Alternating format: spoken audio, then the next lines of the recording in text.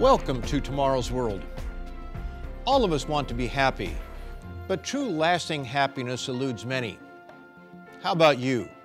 Are you enjoying life or are you merely enduring it?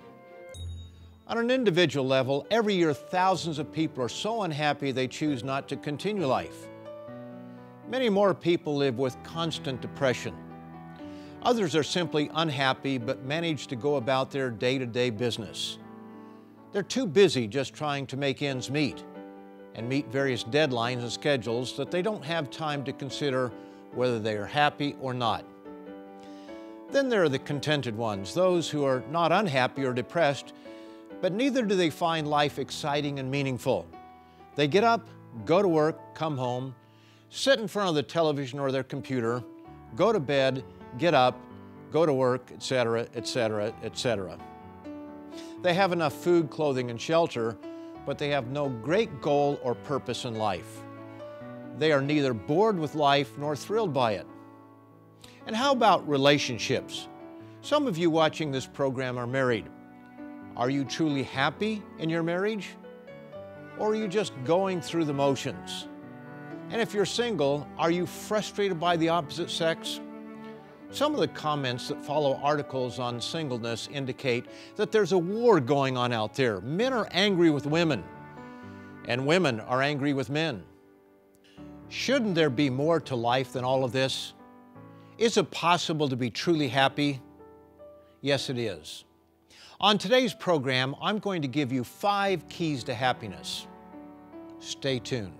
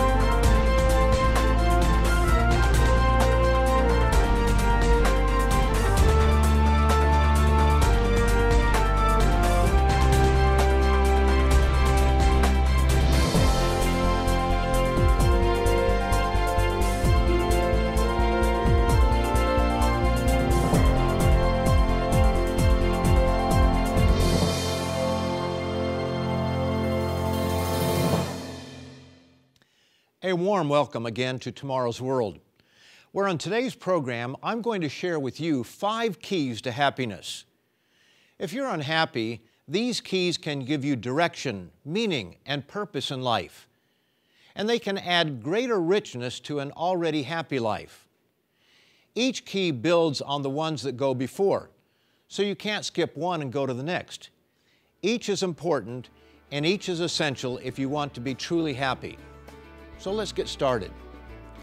Happiness key number one is there is a real Creator God. Discover Him. You might be thinking right now whether God exists or not has absolutely nothing to do with my happiness. And if you think that way, you're wrong. God's existence has everything to do with your happiness. Without God, there can be no lasting purpose in life. Our physical existence is only temporary. How can it not leave you empty if this is all there is? But if God truly does exist, then maybe there is a purpose to life, an everlasting purpose for your being. There was a time when the existence of a Creator was generally accepted, but that is no longer the case.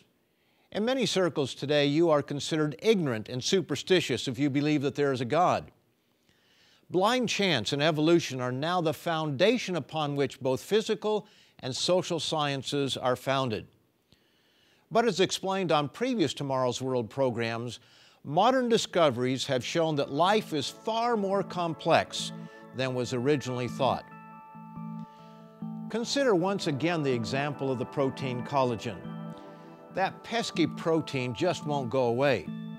But how did it get here in the first place? Probability has been studied at length, and it serves to illustrate a truth that we cannot explain away. Many sporting events start with a referee flipping a coin. One side of the coin is usually referred to as heads, and the other side as tails.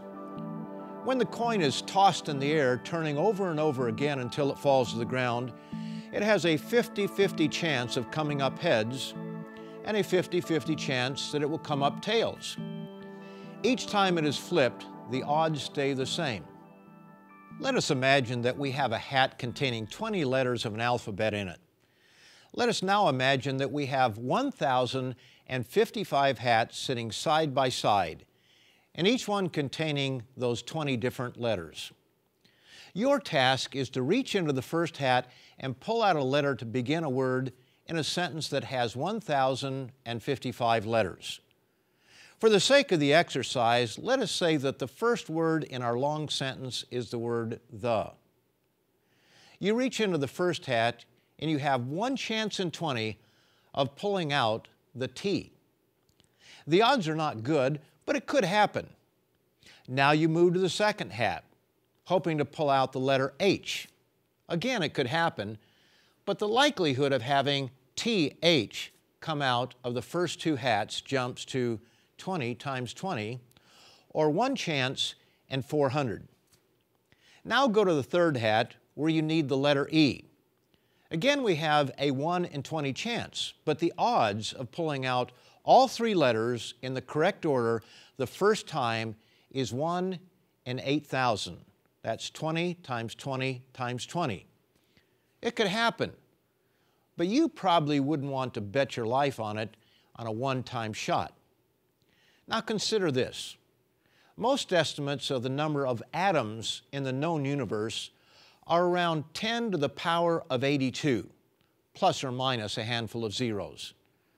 This is a 1 followed by 82 zeros. That's the number of atoms that scientists estimate in the known universe. But the chance of pulling out 1,055 correct letters out of hats, each containing 20 letters, that's the number of amino acids that make up life, in just the right order is infinitely greater. What are the odds? 1 in 10 to the power of 1,373. That's one chance and one followed by 1,373 zeros. Let me remind you of what I've read in past programs from Bill Bryson, a man who believes in evolution. The chances of a 1,055 sequence molecule like collagen spontaneously self assembling are frankly nil. It just isn't going to happen. And we are only talking here about one protein. As Bryson points out, no one really knows, but there may be as many as a million types of protein in the human body, and each one is a little miracle. And this isn't even the beginning of the beginning of the problems of life spontaneously generating any place in this universe, much less on this earth just maybe evolutionists don't have all the proof they want us to think they have. Maybe that is why they are trying to suppress teachers in the United States and elsewhere from teaching what is called intelligent design. The Apostle Paul predicted that there would be those who would deliberately suppress the truth of a Creator God. For the wrath of God is revealed from heaven against all ungodliness and unrighteousness of men who suppress the truth in unrighteousness, because what may be known of God is manifest in them. For God has shown it to them. For since the creation of the world, His invisible attributes are clearly seen, being understood by the things that are made, even His eternal power and Godhead, so that they are without excuse. Ancient King David rightly declared, The fool has said in his heart, There is no God. If man is merely an evolutionary accident, there can be no real purpose in life other than to eat, drink, and be merry, for tomorrow we die. But if a real God exists who made you and me as a deliberate act, then there can be a purpose for life. This key is foundational for all the others. So, the first key to happiness and success is to know that there is a real Creator God. He is, He exists and He is interested in you. So, happiness key number one is there is a real Creator God. Discover Him. Happiness key number two is the God of creation is the God of love. Experience His love. My friends, look about you. What a wonderful home God has given man to live on and enjoy. Whether it is the deserts or the rainforest, mountains or valleys, we find beauty, a workable ecosystem, and the most amazing creatures. Whether we look at Hong Kong Harbor, the Swiss Alps, San Francisco Bay, the Canadian Rockies, or a thousand other places we see beauty. Consider the endless variety of fruits, vegetables, and meats that God has given us to enjoy as food, with all of their wonderful and different flavors. Consider color. Do we ever get tired of seeing a spectacular sunset or a rainbow? We take for granted the night sky with all the stars, but who is not fascinated by it all? Have you ever noticed that the moon is exactly the right size and distance from the earth, that it covers just enough of the sun during a solar eclipse that man is able to study the sun's corona? And speaking of the moon, it is just the right distance to give us tidal action, but not too much. Pictures from the moon looking back on Earth confirm that we live on a very unusual planet, an oasis in the desert landscapes of our solar system and beyond. Consider that God has a wonderful sense of humor. Have you ever watched a duck walk or smiled just a little bit at the antics of a chimpanzee or other primate? And then he gave us the platypus, a small Australian creature so bizarre that early naturalists considered it to be a hoax.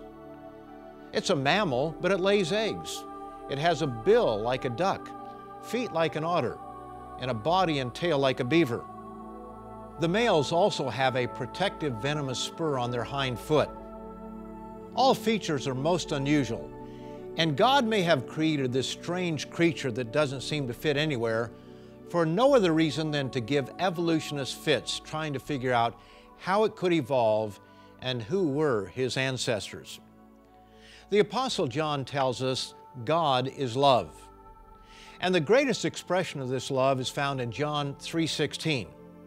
For God so loved the world that he gave his only begotten Son, that whoever believes in him should not perish, but have everlasting life. If you would like to discover more about how this topic impacts your life, visit us online at www.lcgcanada.org to read our featured literature free of charge.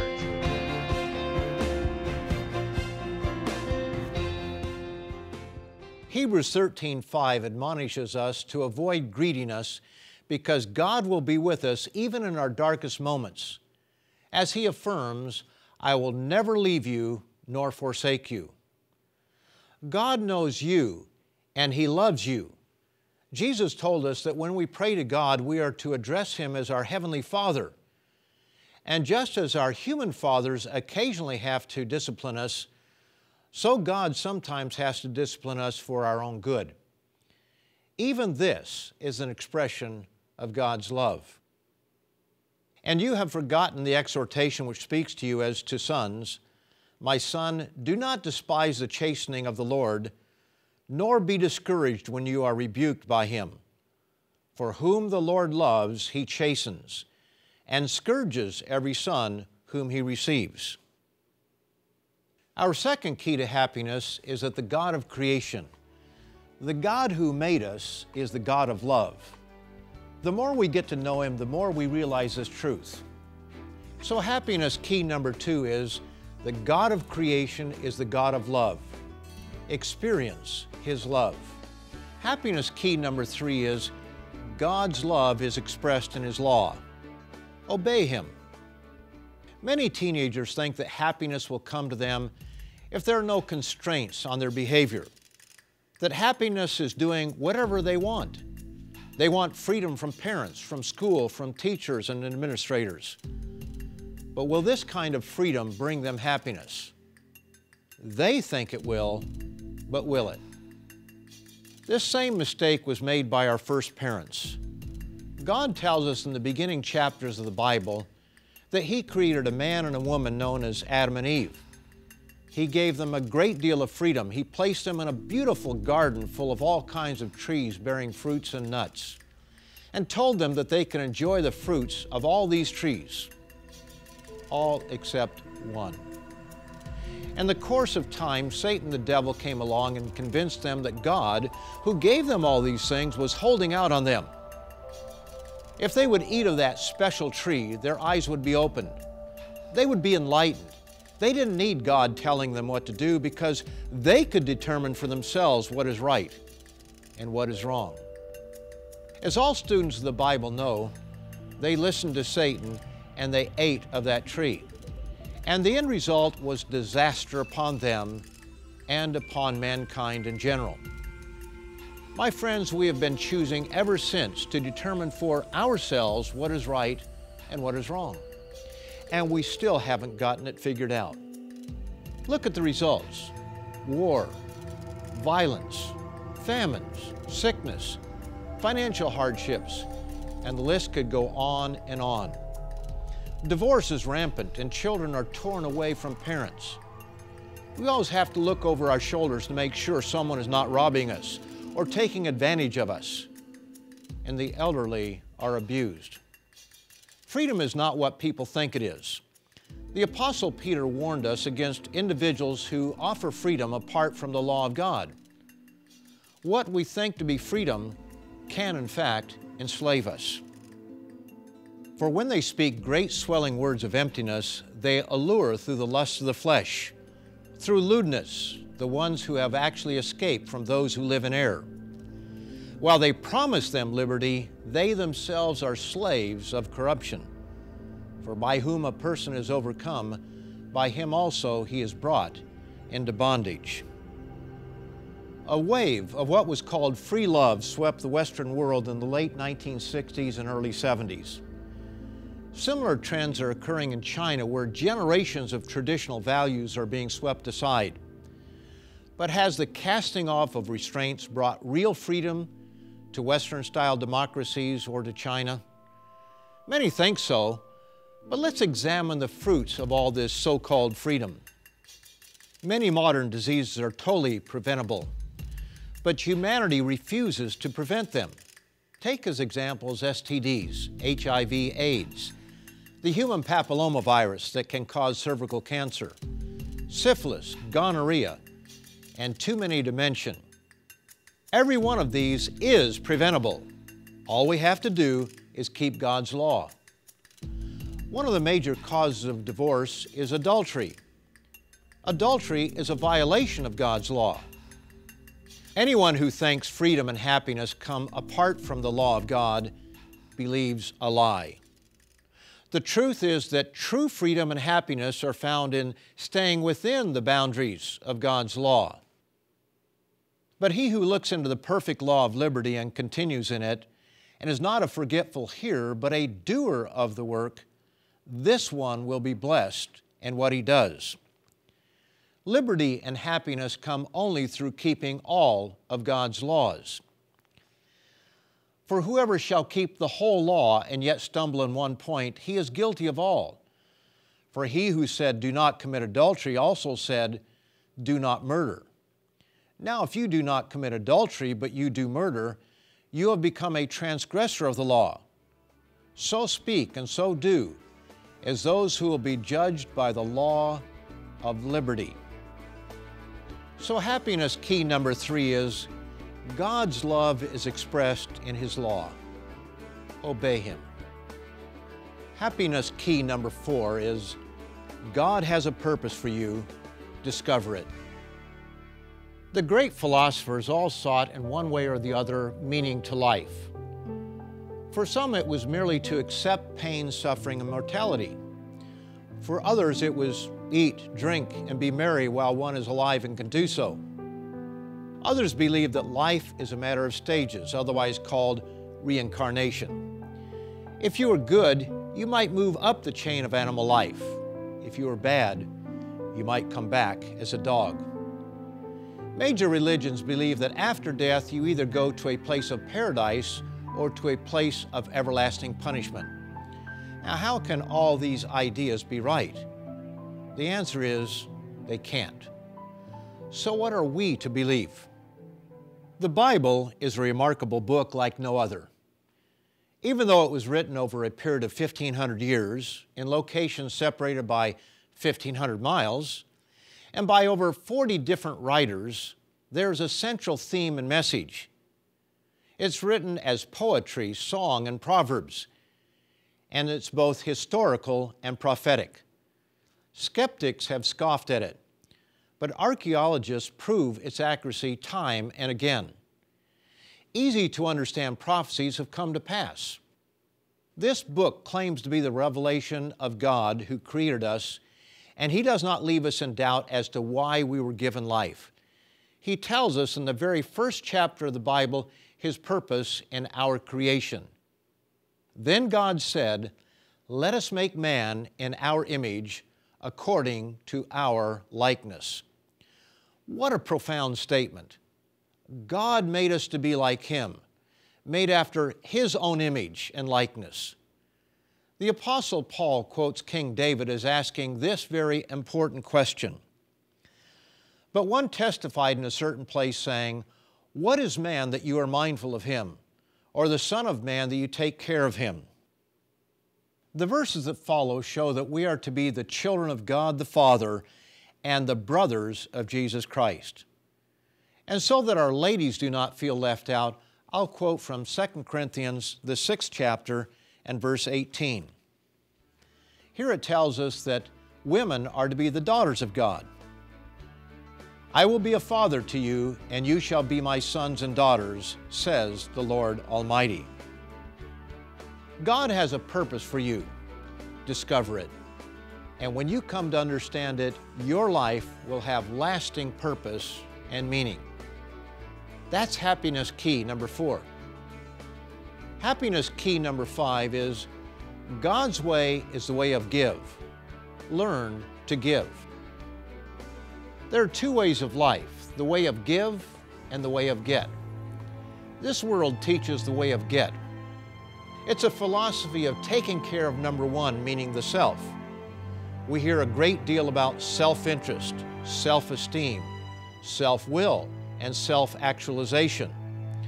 Above all, we're told be true to yourself, defend yourself, and get even if you are treated unjustly. But Jesus came teaching a radically different way.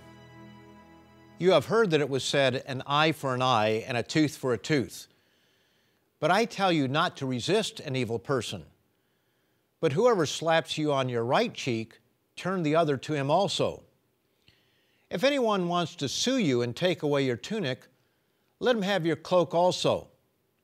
And whoever compels you to go one mile, go with him two. Give to him who asks you, and from him who wants to borrow from you, do not turn away. Our nature tells us that this is not the way to go, that it's not a good idea. But the Bible tells us God is more than capable of rewarding us for choosing His way. Give, and it will be given to you. Good measure, pressed down, shaken together, and running over will be put into your bosom. For with the same measure that you use, it will be measured back to you. In reality, the way of give is a law ordained by God. Even though it is counterintuitive, even though it goes against what our minds tell us, there is a greater reward in giving than taking. As the Apostle Paul explains, I have coveted no one's silver or gold or apparel. Yes, you yourselves know that these hands have provided for my necessities and for those who are with me. I have shown you that in every way, by laboring like this, that you must support the weak. And remember the words of the Lord Jesus that He said, It is more blessed to give than to receive. And it is not just the Bible that tells us that people who give are happier than those who receive. Psychologists found how people spend their money is at least as important as how much of it they earn in the first place. The greatest joys of all, they discovered, can be attained by giving money away. either to someone they know or to charity. Find ways to help others with your time, your energy, your talents, and your resources. Practice God's way of outgoing concern for others. That's our fifth key to happiness. God's way is the way of give. Learn to give. As is the case with all Tomorrow's World programs, we only have time to scratch the surface of any subject. We have literature that goes into greater detail and if you are truly interested in learning more about these subjects, please go to our website that will be shown momentarily, where you can download or, in some cases, order a hard copy of our literature. On today's program, Five Keys to Happiness, one of the keys is God has a purpose for you. You can discover more about this purpose by reading our publication, Your Ultimate Destiny.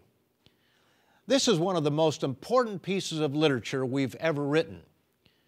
When you think about it, what can be more important than knowing the purpose for your existence? Be sure to check it out on our website. And be sure to come back next week at the same time and station to learn more about the purpose of life and tomorrow's world, the kingdom of God. Until then, goodbye, friends.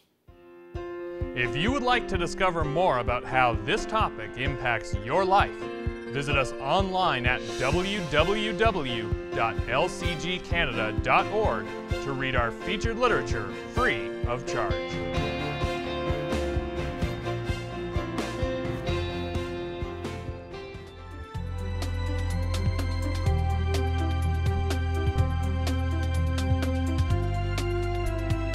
The preceding program has been produced by the Living Church of God.